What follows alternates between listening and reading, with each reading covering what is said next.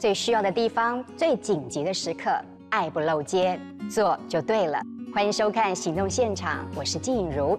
在台湾，新营配偶已经超过五十万人，不管是语言、文化，还有生活环境上的差异，都需要花一点点的时间来适应和调整。再加上离开了自己的故乡，等于也离开自己的朋友圈、家族、亲人之间的扶持、支持的网络，必须独自一个人在陌生的地方重新生活。很多时候想说点心里话，遇到事情想找人商量都不是太容易，更何况一旦遇到了重大事故的时候，经济受到了冲击，整个家庭的重担往往得一个人扛起。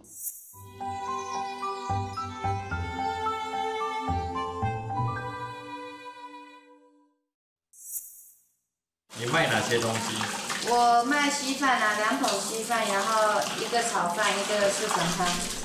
他是刘梅苑，是大陆籍新移民，嫁来台湾快要十年，和先生练焕章有三个小孩。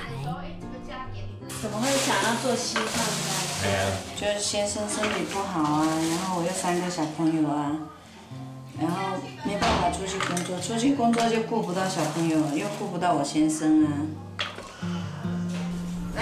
着妈妈，跟着妈妈这边。没错。哎，好，出发。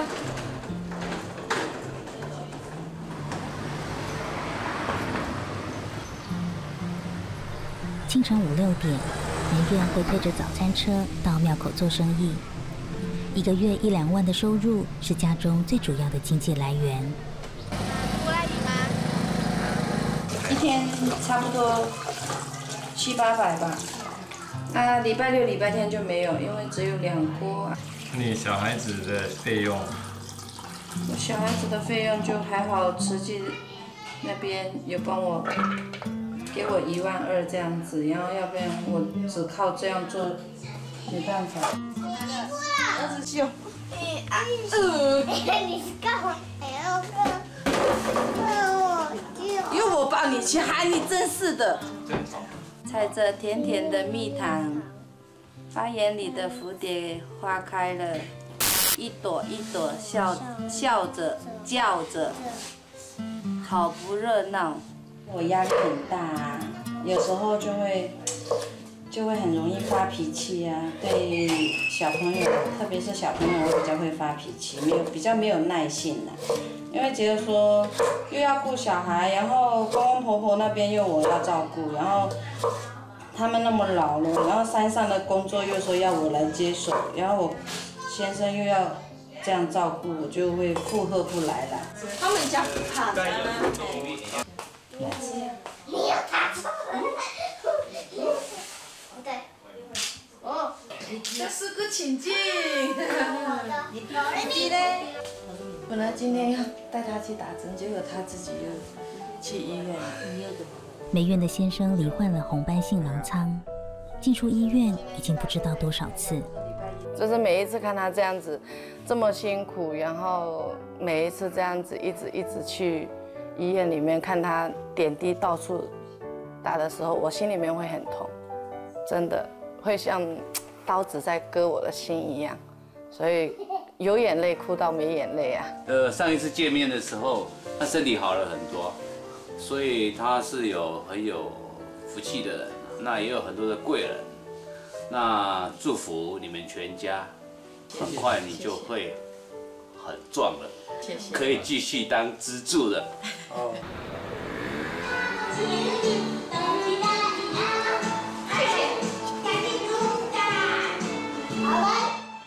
星期六，梅苑会带着一家大小到苗栗新移民中心上亲子律动课程，接受外界帮助，改善家庭关系。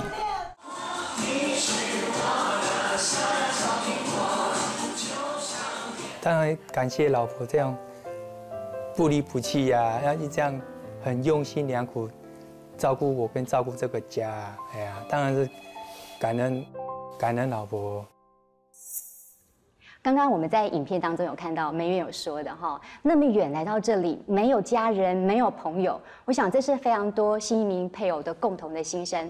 我们先来欢迎在影片当中的主角梅苑，还有小金师姐，还有康真社公司一起来到现场。什么样子的一个想法支撑着你可以这样子走过来的呢？最大的困境就是，我在台湾没有亲人，然后没有朋友，我先生病倒了，我要怎么办？然后我要送去哪个医院？然后我不熟，然后后来就是送他去长庚那边，住了二十八天。那时候金钱方面就是。很困难啊，靠我自己，然后天天就是做生意，忙完又去照顾老公这样子。刚开始的时候，因为其实是陌生人，然后主动来提供这样子的协助，对于一开始的时候，其实是一个很抗拒的那个心理，那个那时候的那个想法是什么样的想法呢？我是广东人，对，然后我从小到大，我不管怎么样辛苦，我都是一家人在努力，我我不受别人的帮助。特别是金钱方面，所以一旦有人说要金钱方面帮助我，我觉得说我自己像像骗子一样，好像在这边骗钱。所以那时候我的心态就这样子，我靠我自己，我不要拿别人的钱，因为我一拿别人的钱，我良心不安，我要怎么去还？我还不起，人情就是我可以给别人人情，但是我不要欠人家的人情，就是有那一种心态，但是。师姐他们就是不放弃呀，一次不行，两次，两次不行，三次这样子，然后每次来就问我说：“你吃了没？你有没有被子好盖？然后小朋友有没有衣服好穿？”就是打动我的心，然后就是慢慢慢慢我们熟了以后，就是就觉得说，师姐他们真的很好，就是无怨无悔的为我们付出这样子。那时候我们接到提报之后，就到梅园家。嗯。呃，梅院和先生是不同调的。那先生他本身是台湾人，他对我们瓷器是有所了解。可是，在梅院这部分的话，他嗯自尊心比较强，然后他认为说，哦，我那么远来，我可以靠自己，所以他拒绝了我们的金补。可是呢，他也希望我们能够一路陪伴他，关怀他。那在这拒绝当下，呃，我们访视组的师姐就是常常过去。一次不行，两次不行，三次不行，继续努力。对，那后来我们又想到，嗯，因为美院是新移民，那这一个区块可能我们比较不熟，所以我们就当下就是有认识康真，然后我们就把这个案子经过美院的允许之后，我们就把它转到新移民家庭服务中心，有两个呃不同网络来服务他，像美院的一个。嗯，case 里面，我们其实情绪上的支持，就刚刚提到，其实他们来到台湾，真的很多都是孤身一人。如果说在娘家，呃，应该在婆家的部分，公公婆婆没有办法又提供很好的一个支持、同理跟肯定的话，对他来说，其实真的是非常辛苦。那我们希望扮演就是能够像是一个娘家姐妹这样的一个角色。所以那时候小金医生那时候，呃，在陪伴他的过程当中，一定也观察到他这样子一个很好强的个性，可能他对他自己。所表现出来的，他不自觉。那我们像我跟康真都会观察到，其实他对孩子的期望很高，相对的，他给孩子的压力也很大。他一直常常告诉我们说：“我好爱我先生，我好爱练换章。”可是他的爱，也许是他认为那是呃无瑕的，全心全意的。可是可能对练先生来讲，会一个是。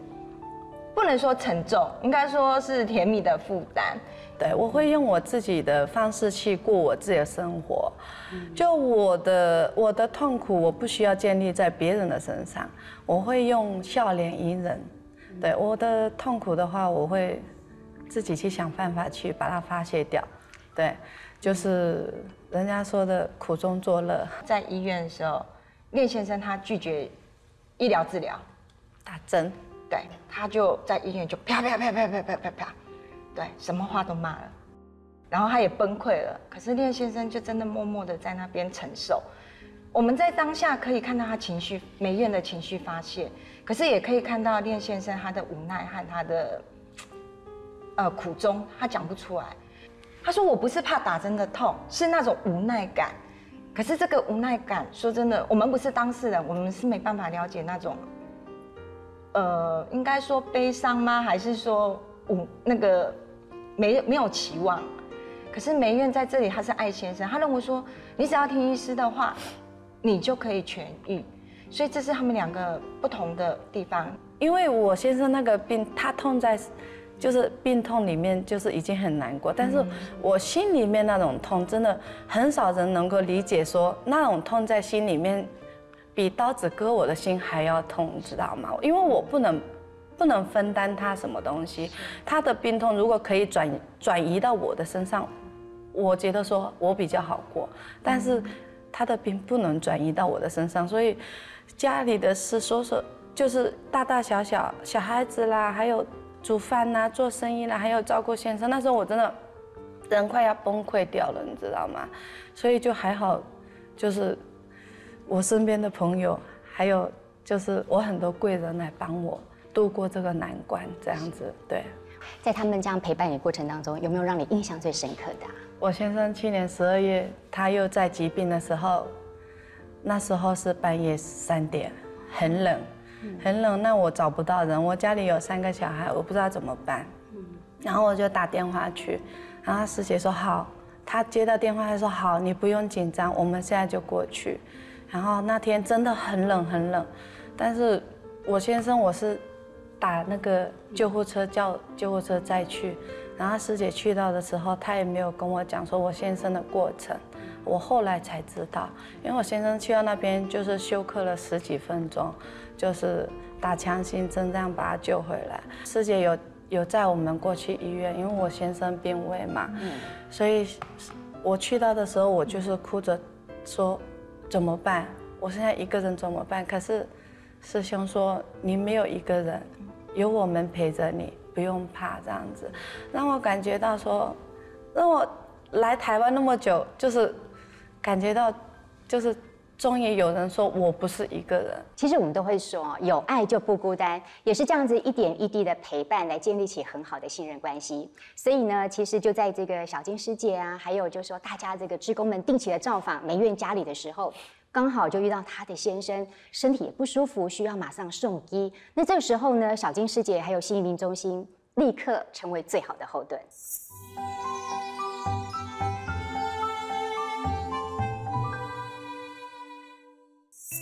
爸爸怎么了？他，嗯，他的脚，一只脚断掉了。啊？为什么？因为他的他的脚，他说没力气，然后就那个。哦，他说没有力气了哈。所以妈妈妈妈今天要带他去看医生哦。啊。这样。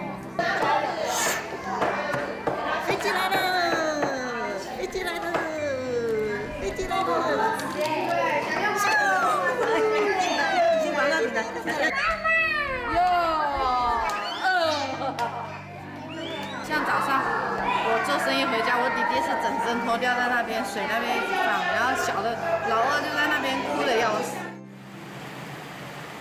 折衣服，厨房，你看湿哒哒的，女超人，女超人。亲亲，坐坐坐坐。今天到底干嘛啦？这个怎么那么像那个？你没有叫我。下礼拜六我要去照那个核磁共振，照完十七号要去门诊，然后再来商量看要不要开刀。因为他如果不开刀，以后再一样反反，再过几年不是反反复复要坐轮椅。我想到要坐轮椅要怎么办？从前年十二月开始就经常就这样子，所以。表面上他们说你老公就好好的，为什么不去上班？我是觉得说，为什么人要看表面，人家痛苦的一面他们完全没看到。外面的人说的，你干嘛要自己那么辛苦？叫你老公去上班就好了。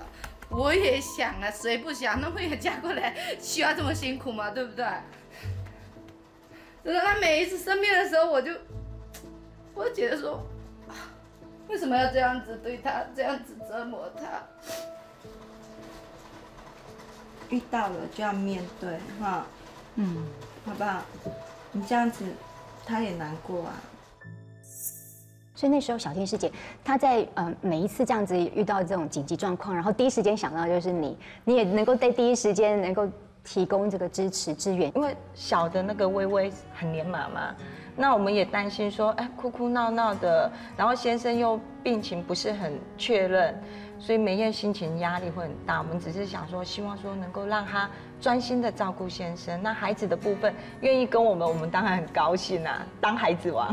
其实呢，在新移民在台湾的环境跟背景，每一个人都遭遇跟处境都很不一样。这个来自于每一个人的出身都不同，很多元。所以这个时候，尽管政府提供了各种的社会福利资源，其实有时候还是会在法令的上头会有漏网之鱼。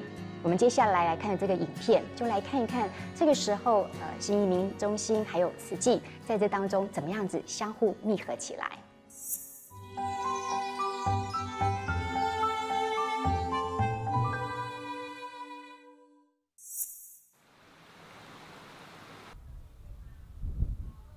两间一工啦，两点钟。มาตานาริตาตาเทวมนุษย์สานัง 嫁来台湾三十年，现在陪伴在他身边的只有这只可爱的小狗。陈美娟是他在台湾的名字。嗯，我是美娟，嗯，二二三十九岁，三十九岁来台湾，来了。来七个月了就就店面店店面前，是足欢喜啦。ก็พออยู่ไปมันผัวมันเอ่อได้แก่แต่อังโมโห。从泰国嫁来台湾，原以为这是幸福的起点，但却因为先生的家暴而破灭。手上的这张身份证虽然得来不易，却也让他失去泰国国籍，离家乡路也就越来越远。那你有想要去找伊 บอกก็ช่วยไม่ไปฮะบอกก็ช่วยก็을좋아 해. 뭐래 요? 먹을 좋아 해. 그 다이 못래 요. 쓰이기 려 려. 농수에 려. 네, 그게메เดียวนั่น.แหละนี่เกี้ยเนี่ยเกี้ยไม่ไม่โคต่ว่าอูอูข้าจะงไวขี้แล้วไวเกียเจ็บแล้วไวเกียเจ็บแล้วคงอีแบบปาซี่ 冰箱内底。冰箱内底阁无米粿啦。哦，有蛋。有蛋。哦，蛋有，我家家家超家有做做蛋包，蛋包在上无。呃，内底敢有饭？有饭。饭啊。有有。哦哦，啊！你安尼就食一顿哦，食顿咯，饭就素尔，那个蛋包，羊羊羊羊羊羊。啊，有。无营养，啊？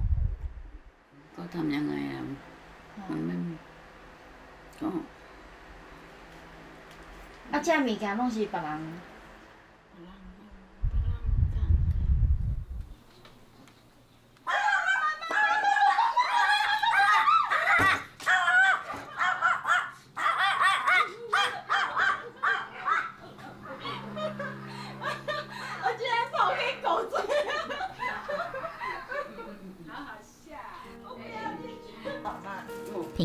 慈济志工，也是新移民中心社工的刘小金会来探望，给予阿妈生活上的帮忙。香蕉哈，这有麦片，麦片，哈，啊你透早起来的时阵好哈，这有冷果，好，啊这有米，啊米无煮哈，啊未开，哦，啊这啊未开放冰箱。之前两个月电视没缴，他就自己在家很无聊，然后我们师姐发了急难之后，赶快带他去把房租还有电视恢复了，然后第二天问他说。电视可以看哦，可以了，可以了。对呀、啊，阿妈，咱来带你去办公室，甲大大家斗评审，好不好？嗯嗯好。เ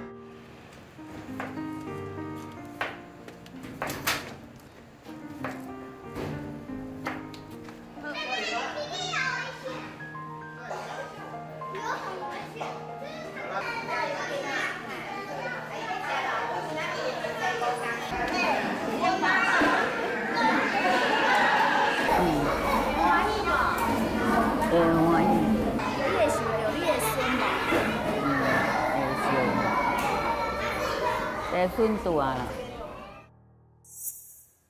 刚刚我们在影片当中看到的美娟阿妈其实小金世界因为你本身其实除了是慈济职工之外你也是一个社工的专业所以其实在你接触到的很多的个案里头也会遇得到在法令上头我们的社会福利资源没有办法普及的一些个案尤其像美娟阿妈在这里我们接触的时候阿妈是卡到经济的问题那她当初是因为家暴然后受不了家暴，之后她逃家，那。新移民姐妹，她在忍受不了之后，她是没办法跟呃夫家离婚，就是丈夫离婚，所以呢，她只好选择离家。那离家，她就背负着抛夫弃子的恶名。那她来到苗栗十八年，那在这十八年，她都没有缴健保费。那她只好在面店打工。那他的所得积蓄就在这几年，因为年纪逐渐老化了，所以他也没办法工作。那积蓄也殆尽了，我们有看到他有低收入户的，呃，证明，就是通知他已经通过。可是事后我们要带他去做一些寻求法律的，呃，诉诉请的时候，那时候我们就发觉县政府一个是市公所来说初审过，一个是县政府说未通过。那我们当下就有问了，那是呃低收入户。它是以户，不是以人为单位。那他户的话，就是他的三等亲里面包含了他的父母、子女、配偶。那他配偶先生已经往生，那他还有一名子儿子。那儿子现在呃青壮年的时候，然后又娶了媳妇，那都列为工作人口。所以在嗯我们福利界来讲，就会说呃二对一。原则上是能够抚养阿妈的，可是，在实质上，当初他抛夫弃子的恶名下，他就已经完全跟孩子是完全没有联系了。那这一块这个部分，现呃公部门是不知道的，这时候只好诉求法律途径，请法服基金会介入，然后让他去做一些申诉。呃，政府部门他一切按照程序走。那需要时间，可是，在救急的部分，时间是很重要的。就像阿妈的部分，她九月一号要付房租，可是刚好卡住假日。对，那如果照公部门慢慢慢慢的申请，再申请呃抚养权的问题，法院判决可能要一两个月。那这段时间阿妈的生活费、房租就会造成她的负担，阿妈就会紧张。所以这时候我们就连接了慈济。那我们师姐就会去访，那当下呢，师姐了解到阿妈的困境，那，师姐就跟阿妈说：“你放心，你不会是一个人了，呃，未来会有我们更多人陪伴你。”对，然后当下我们就先帮阿妈处理一些像房租的问题。只身来台的新移民在台湾落地生根，成了第二个家乡。在这个过程当中，其实啊，我们每一个人都能够伸出友善的手来给予最及时的关怀和帮助的。爱不漏接，做就对了。行动现场，我们下周见。